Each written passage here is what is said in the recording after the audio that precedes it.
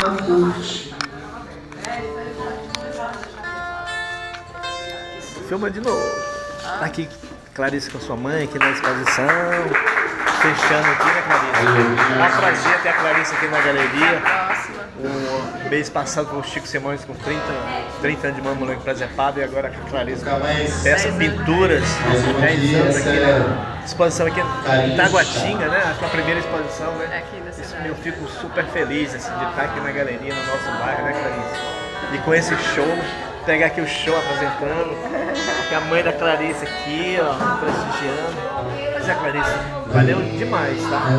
Principalmente essa, esse show aí, né? Da Tabata, né? Muito bom. O pessoal do nosso bairro, né?